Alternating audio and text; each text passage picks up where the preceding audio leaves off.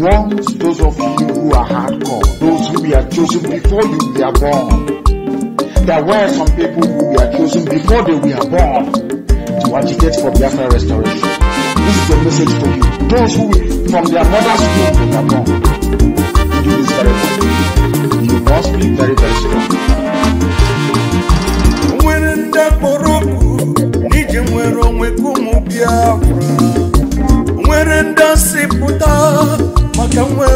ka anyị na-aga biko bulie bulie ruo n'oge ruo biko bulie ihe ji amara ike n'oge ruo o nwere ndị akpọrọ oku ndị akpọrọ oku maka nwere onwe anyị o nwere ndị amụrụ chekwa maka nwere onwe ụmụ Biafra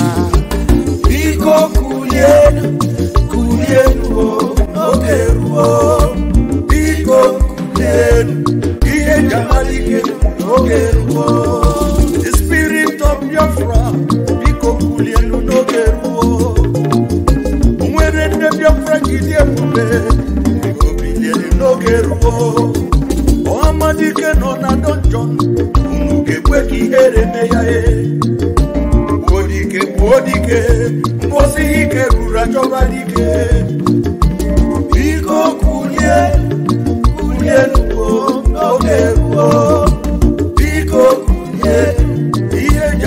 The Prime Minister of Biafra Republic Government in SI, Simon M.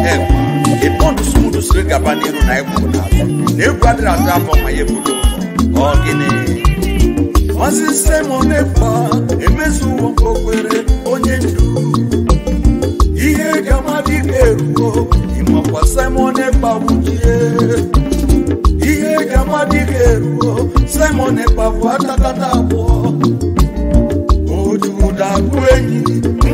onye ndụ gị na-eme tata I will follow you I will follow you I will follow you never do back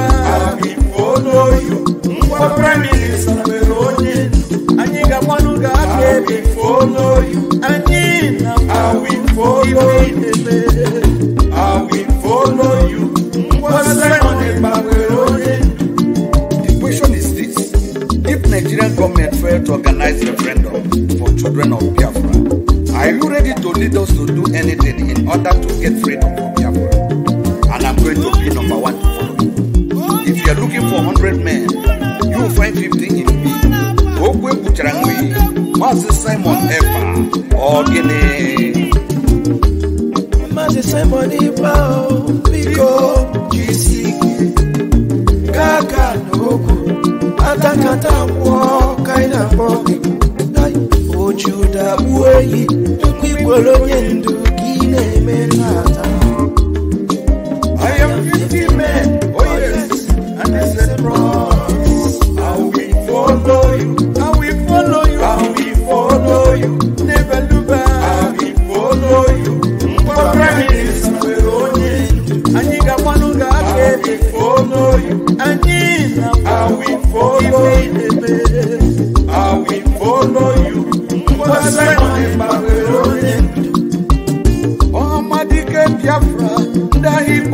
ụwa abịaruole ihe eji amadike eruo Biafra Republic gọọmenti awụchie ihe eji amadike eruo kọmanda jetul ekwechiri jeneral Buduso so na atakata wụọ